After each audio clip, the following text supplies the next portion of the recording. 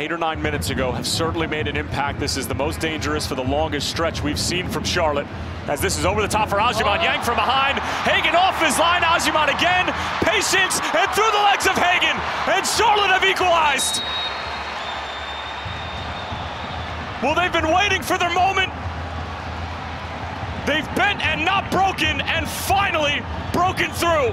Charlotte can get right back in this.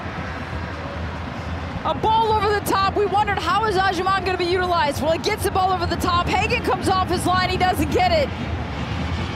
For a moment there, it looks like it's not going to be enough. And you see Camacho tracking.